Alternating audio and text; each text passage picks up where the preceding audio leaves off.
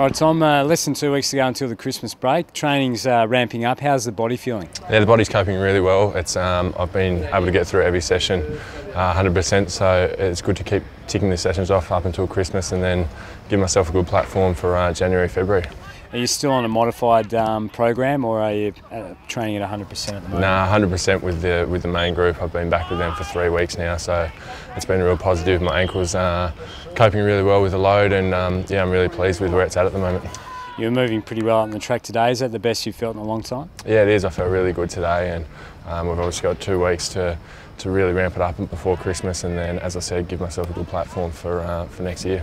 You've got two new guys in the club that are pushing for the ruck spot as well in um, Big Jonathan Giles and Shaun McKernan. How are you bonding with those uh, two boys? Yeah, it's great to have uh, a bit of a bit of competition there and uh, really push me as well. Those guys are they've um, obviously got experience out of the club, so it's good to uh, to work with them and, and see what they know about um, their time at other clubs, and hopefully they can help me and I'll help them.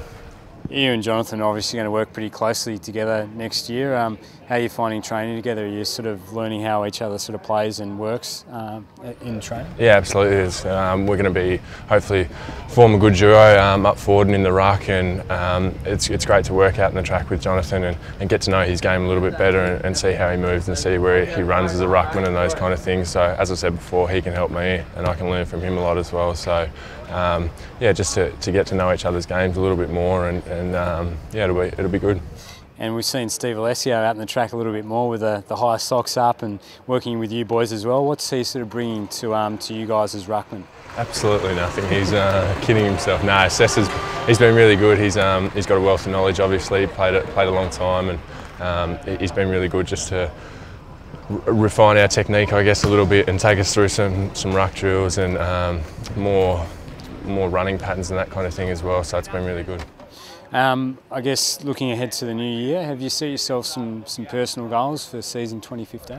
Um, look, not not too many at the moment. It's about pre-season for me at the moment, and, and I guess my one goal was to tick off 100% of pre-season, and thus far I've been able to do that. So it's really pleasing, and I'll just um, keep ticking off until Christmas, and then reassess in the new year.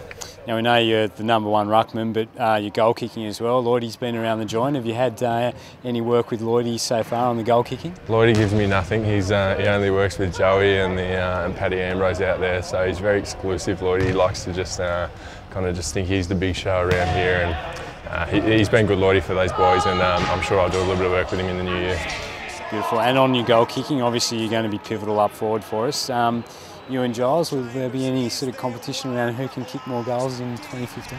Uh, no competition as yet, but I'll um, yeah, I might have a little wager on it with him or something. Maybe um, I think I kicked 27 a couple of years ago, so if I can kick more than that, I'll be pretty happy. Well, Tommy, um, you're looking great out there on the track. All the best for the Christmas break, and we look forward to seeing you back uh, at full strength in 2015. Thanks, guys. Look forward to it.